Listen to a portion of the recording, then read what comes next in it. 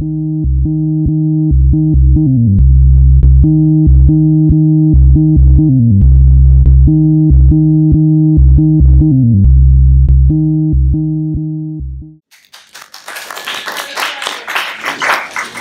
everyone, as Kelly said, I'm Dylan and I'm presenting on Zika virus being used as a treatment for glioblastomas. So let's get. So 74.6%. This is the percent of malignant brain tumors that are gli gliomas and, glio and glioblastomas are a type of glioma. Now, you're probably wondering what glioblastomas are.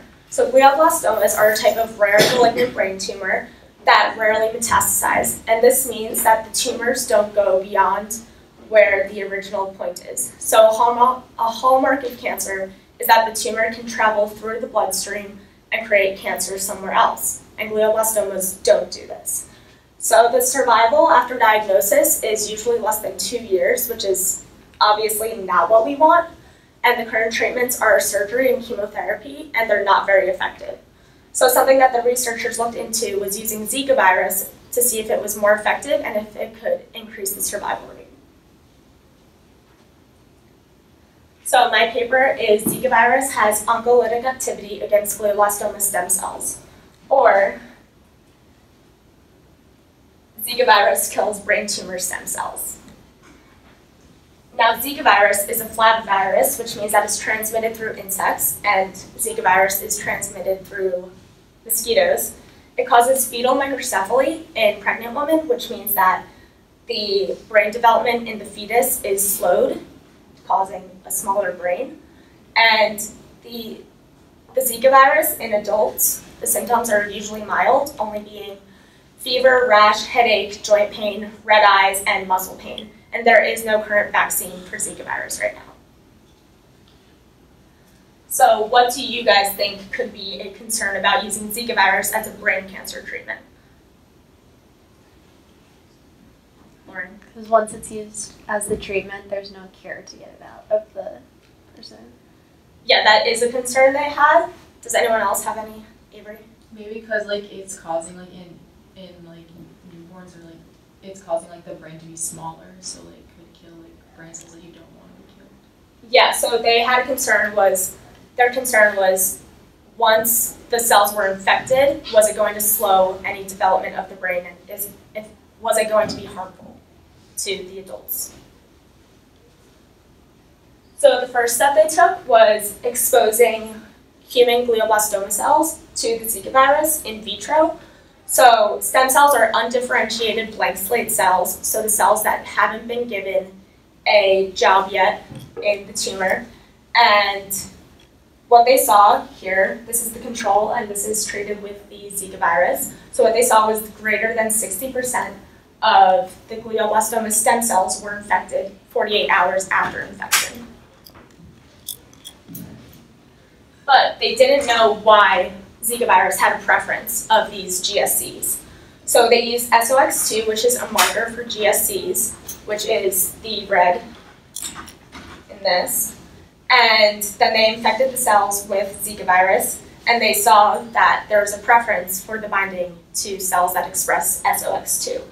So they also saw that the Zika virus infected DGCs, which are differentiated glioblastoma cells, but, but at a much lower rate than it infected the stem cells. As seen, the cell number that were infected went to 12 for the GSCs, but didn't go above 1.7 for the DGCs. Yes? Why is that important? It's important because the Zika virus, normally in a fetus, it just slows the development of a brain. So they thought that there was going to be a target for stem cells because the cells are still developing. And then what they saw in the regular developed cells, they don't know why, but yeah.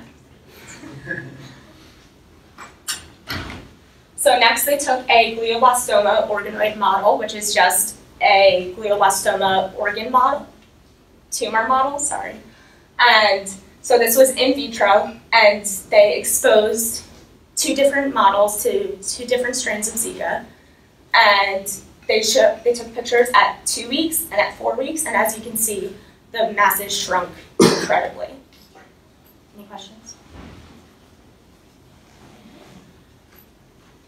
So knowing that SOX2 is a marker for G- GSCs, which are the stem cells, and knowing that this was done in the glioblastoma organoid models, can anyone explain this figure for me? Okay, so this figure is just again showing the Zika virus preference of the GSCs, even in an organoid model. Everyone got that? So these were just more tests run on the organoid models. So they took three different markers, AC3, which measures activity in apoptosis, Ki67, which is a marker of proliferating tumor cells, which just means that these cells were replicating, and GFAP, which is a marker of the differentiated tumor cells. So what they saw was that the Zika virus induced cell death, as seen that the Zika virus binded to the AC3. What, and they also saw that the Zika virus didn't efficiently infect the cells with the Ki67 marker or the GFAP marker. So the Zika virus did not infect differentiated tumor cells or the proliferating tumor cells. So just to clarify, the proliferating tumor cells were mature cells that were just dividing and Yes. they, they weren't stem cells. So now these tests were run in actual human glioblastoma specimens. So tumors were resected from patients and then the researchers got it and ran tests on it. So the tumors were exposed to Zika virus over the course of one week. And the seen here, the this is just the percent of glioblastoma cells that were positive for Zika virus, and this just shows that the one strain was more effective. But and it also shows that the majority of cells that were infected were markers for SOX2. So again, the stem cells were affected. They also did for Ki67 and GFAP, and what was really good about this one was that Zika virus did infect the proliferating cells, which means that the growth rate for the tumors could be slowed down more. And that was again just the differentiated cells. So the next thing that they did was see the Zika virus effects on just normal adult, neural cells, and they saw that the Zika virus did not infect the normal neural cells, which is amazing because does anyone know why? Yes. That the cancer tumor and kill the tumor and keep the brain healthy. So after they've done all of this in vitro, they wanted to do it in vivo on mouse models. So they used a mouse adap- adapted Zika virus because mice aren't natural hosts for Zika virus. So they compared the adapted strain to a parental strain and the control. And what they saw in these green boxes was that the adapted strain was much more effective than the control, obviously or the parental Zika virus strain. So these three are just three different groups of mice that they tested on, and then these two are just showing that the normal neural cells were not infected, as seen by all the levels were the same.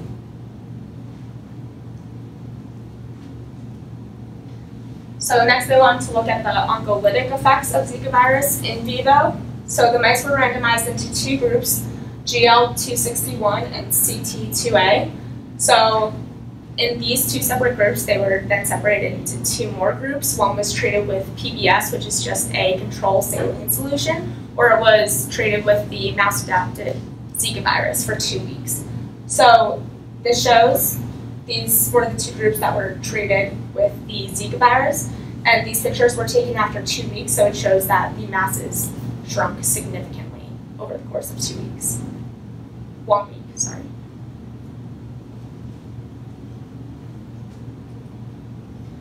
So now that they've done all these tests on how the glioblastomas are infected by Zika virus, they wanted to see if it had any effect on the survival rate. So what they saw was that these were the two separate groups again. One was control and the other was Zika virus. and the control groups both died. All of them died by like day 30, but the ones treated with the adapted Zika virus in the first group, they all died by day like 50, but in the second group, they about 40% of them were all living by day 63. So then they took a higher dose of the Zika virus and they saw that about 50% of the mice were still living after day 63. So these were just pictures that they took over the course of two weeks that the mice were treated. So they saw that the viral RNA from the Zika virus remains localized, which means that the virus did not go beyond the tumor, which is very good. And they also saw extensive cell death by the AC3 stain. So now they wanted to do some enhancements of Zika virus. So what they did was they sensitized the virus to translation inhibition of IFNs, and IFNs are signaling proteins that tell other cells that there's a virus and we need to kill it. But by inhibiting this, uh, the cells are like, let Zika virus do its job in killing the tumor. So they compared the Zika virus E281A, which is the enhanced Zika virus, and the wild type Zika virus. And they saw that the parental strain was more potent in reducing the GSC growth, but it wasn't significant enough that they just abandoned the adapted virus, as shown in the green boxes. Red is the adapted, and then blue is the wild type.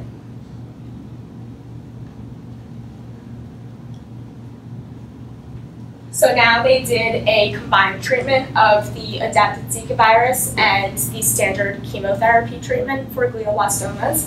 And they saw that T- TMZ, which is the chemotherapy, had limited effects on GSCs alone, but when combined with the adapted Zika virus, it had a much greater efficacy and it was almost more effective than just the parental strain alone, as shown in the green boxes.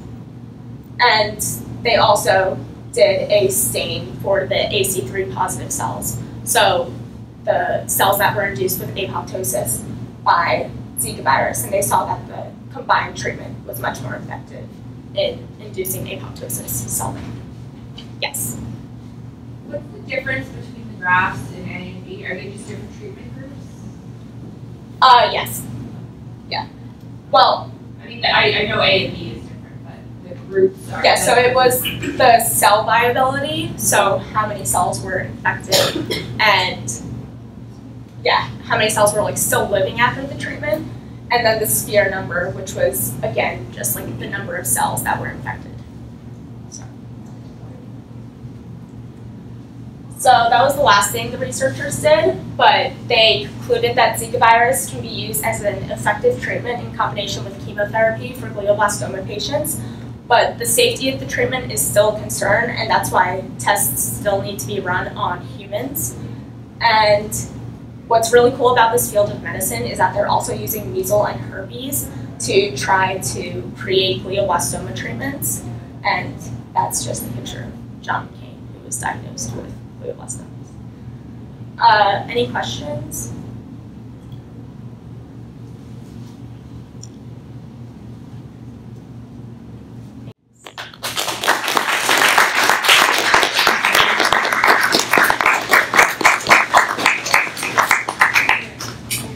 Oh, okay. Really no questions? Yes, sorry. Um, did they mention anything about how this might be working? Do they have any ideas of how, I mean, how the virus is actually being used a treatment? I mean, they showed data that says that it targets the glioblastomas and that it does seem to reduce, you know, increase survival, reduce tumor size and stuff, any idea how? Um, so the preference of the GSCs is definitely still something that they don't know the mechanism behind, but it was a very localized treatment. It was just injected into the tumor, and that's how they infected the cells. But does that answer your question? Well, I'm sort of thinking, like, how, did- how, how is it killing the cells? Yes. I Um, mean, I'm sure it probably wasn't in the scope of the paper, but I don't know if they talked about Uh, I personally don't know that, but I can get back to you later on. Any other questions? Yes. So do they worry, do they have to worry about like an infected patient, um, having be like contagious and, and spreading disease? They didn't really go into that in the paper because it's still like very preliminary steps in the treatment, but I'm sure as the progression of the experiments go on, we'll get into that. Yeah? So the drug research for the cancer project two years ago actually did a pretty similar thing. They were injecting polio into glioblastoma, and that triggered an immune response of the drug. Do you know if this also triggers an immune response like that? Um, I don't think it does because they did take out the IMN signaling so that it wouldn't be an immunotherapy drug. But I'll, I can get back to you on that. Any other questions? Yeah. How long ago were they doing these tests on the mice? This was this paper was published about two months ago, and it was actually done at WashU.